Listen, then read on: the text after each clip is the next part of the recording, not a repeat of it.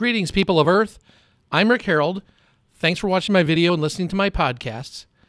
Yes, today we're talking about books, or all the books, certainly all the public domain books, in the size of a Tums device. Now, I don't just mean that the data storage is going to be that size. I mean, the device is literally this size, or the size of a dime. Now, you might go, that's ridiculous. Sure. i am going to talk about some stuff here which will be seemingly ridiculous, but it's for a point. And the point is to think different and to approach problems differently. So, certainly we know that in the size of this Tums, you can have a micro SD or even a chip which can store character form all the public domain books using compression and other mechanisms and because this would be not picture books, um, you would be able to store all the characters in there.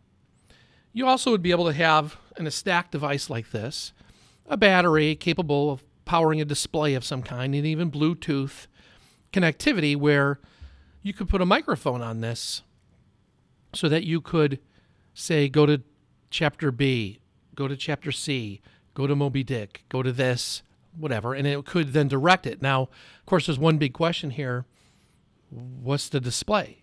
How could you possibly see anything? Well, a couple of points with that.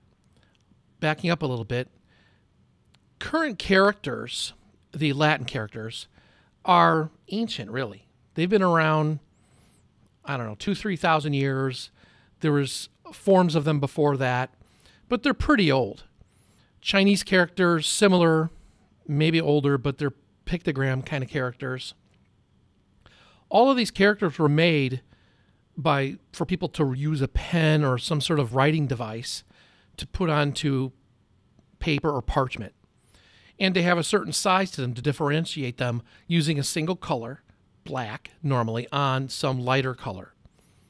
And that forced a certain design. Nobody sat around thinking about it. I mean, it started with hieroglyphics, if you think about it on how they would write it. That's kind of old thinking. The Latin characters are also based on phonetics, which I think is actually really good because you can create dynamic language, you can add to it. The Chinese characters are pictographic and they're all uniquely different, although there are bases within them. So, as a person who deals with data compression a lot, and in fact, working with my daughter on something separate, a, a game, it occurred to me that today, if we could create a new link or a new mechanism, you could assume that people are going to use a device and that the device would have a screen, an LCD screen. And now imagine you use color as a mechanism for displaying, I'll just say characters initially, so A, B, C, D, E, F, G.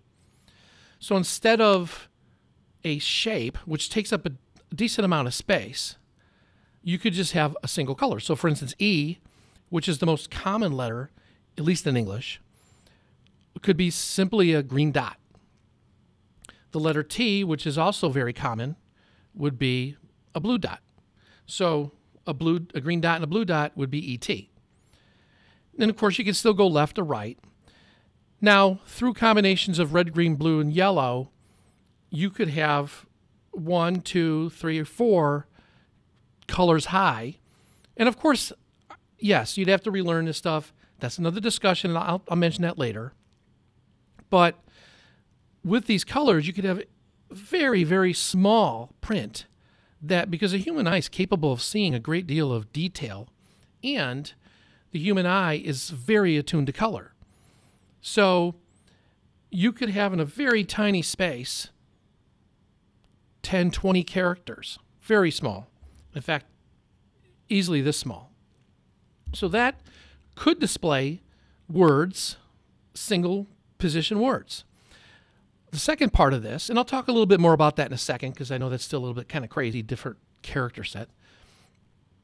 Second part of this is I, I talked to a doctor a few years ago, unrelated to this stuff, where he work he's an eye doctor and he works with people who have a, a problem where they can't track page pages. So that when they're moving to read, they can't do it.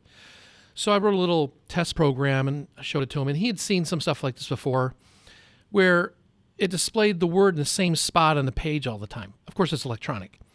Well, that was great because the people with, who have the eye control problem with the muscles, instead of tracking across and getting lost as they would go down the page, would just stare at a single spot and the words would cycle there. And in fact, this isn't new. There's been tests done, and I wrote a program just to test it, where a regular regular person who doesn't have eye issues could read much much faster because you're not moving your eye across the page. The only reason we have to do that is because it's two three thousand year old mechanism of forcing you to move left to right and down the page and changing pages. Speed readers know this, and they read blocks at a time. Now imagine having a display where it's displaying the word or a series of words. So you can sometimes display up to five words, depends on the size, at uh, some certain speed. Okay. How fast? I don't know. A good reader can read about 300 words a minute. I know speed readers do faster than that. Just in some of the empirical tests that I had done, you can go easily up to 15 to 1800 words a minute if you're not moving your eye and start recognizing it. I didn't go through and push it to see if you could go faster and also talking to the doctor is quite interesting in how the eye perception and the, the how fast the eye can recognize a pattern. So now you've got two things. You've got a different character set, and you've got a different mechanism where you're not physically moving your eye and taxing your eye. So going back to the first part again, the character set's different, and you might go, "That's crazy." Yes, I understand it's crazy, but if you see Chinese on a page, if you don't read Chinese, it's crazy, right? You don't know what it is. You'd have to learn it. You see, and this is a screenshot from the game, and it's not meant to be optimal in terms of size. These colors on the page, yes, equally crazy to the crazy Chinese characters for people who don't know Chinese, versus something you've seen every year of your existence over and over, and you had to take a lot of classes in it. And you just learn it because you're embedded in the language. But this takes advantage of the devices, allows you to leverage what your eye's able to do with color.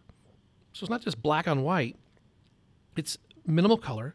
And the other added aspect of adding to this would be it's meant to be optimized and compressed data.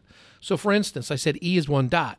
So then the less uh, used characters, let's say Z, might be three colors because it's not used as much.